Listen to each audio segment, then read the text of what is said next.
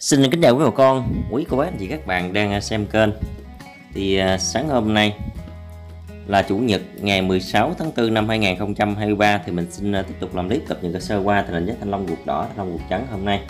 ở khu vực miền Tây và khu vực Bình Thuận cho quý bà con. Quý cô bác anh chị các bạn cùng tham khảo. Thì ngoài cập nhật tình hình giá thanh long thì hàng ngày hàng tuần mình còn có làm thêm những clip cập nhật tình hình giá cả của một số loại nông sản khác trên kênh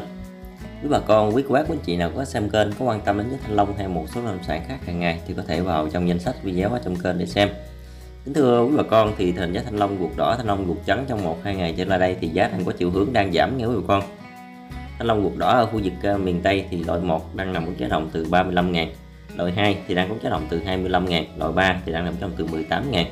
còn loại 4 thì đang nằm giá đồng từ 9 đến 10 000 hàng giạc hiện nay thì đang nằm giá đồng từ 7 000 8 ngàn, tùy theo từng khu vực, tùy theo từng vựa tùy theo từng thương lái mà giá có thể chênh lệch lên xuống từ 1 đến 2 ngàn. Tùy theo từng nơi, đây là tình hình giá thanh long ruột đỏ ở khu vực miền Tây. Giá này là giá thương lái thu mua tại vựa nghe quý bà con, tùy theo từng nơi, tùy theo từng vựa tiếp theo là tình hình giá thanh long ờ, ruột trắng, giá thanh long ruột trắng hôm nay ở khu vực ờ, miền Tây. Thì hàng đẹp đang nằm giá động từ 18.000 đến 20.000 đồng một ký, còn hàng sàn thì giá đang nằm giá động từ 15.000 đến 17.000 cũng tùy theo từng khu vực tùy theo từng nơi.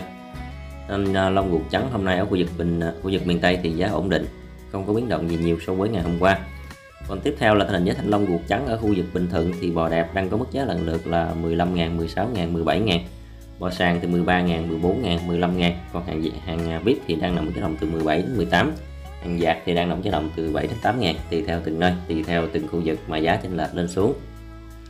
tiếp theo là tình hình giá thanh long ruột đỏ. Giá thanh long ruột đỏ hôm nay ở khu vực uh, Bình Thuận thì uh, giá tiếp tục đang có chiều hướng là đang giảm nha quý bà con. Thanh long ruột đỏ khu vực Bình Thuận thì loại 1 đang nằm giá đồng từ 30 đến 33 ngàn. Loại 2 thì đang nằm giá đồng từ 25 đến 26 ngàn. Còn loại 3 thì giá đang nằm giá đồng từ 20 ngàn đến 22 ngàn một ký. Cũng tùy theo từng khu vực tùy theo từng nơi tùy theo từng uh,